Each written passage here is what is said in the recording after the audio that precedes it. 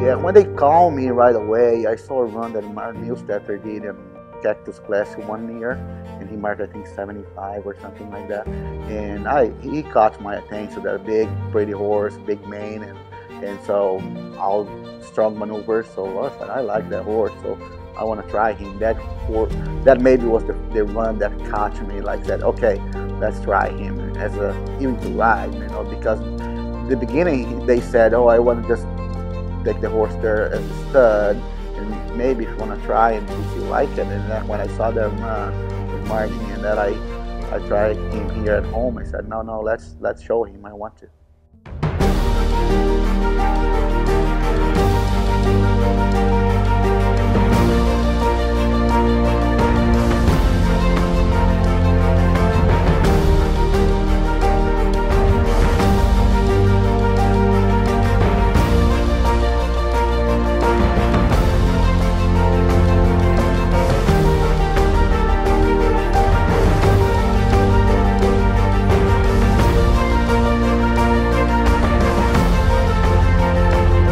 I gonna pick a mare with him, I I have no so much like worry about it because I know he can pass everything he can. He's like a good mover, good mouth, good trainer. He got all the maneuvers, big stop, good big lead, good leaded.